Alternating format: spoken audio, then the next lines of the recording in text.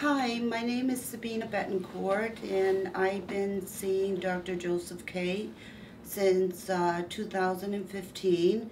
And I was originally coming for menopause issues, and he treated me with the pellets, which was very successful. And um, I decided to then uh, look into the O shot, which he was offering for leakage issues, and uh, which many women do have for coughing or laughing. And um, after the second shot, it was very successful. It increased my sensitivity, and um, it's been great since. So I'm continuing uh, with the service here, and I'm happy with it.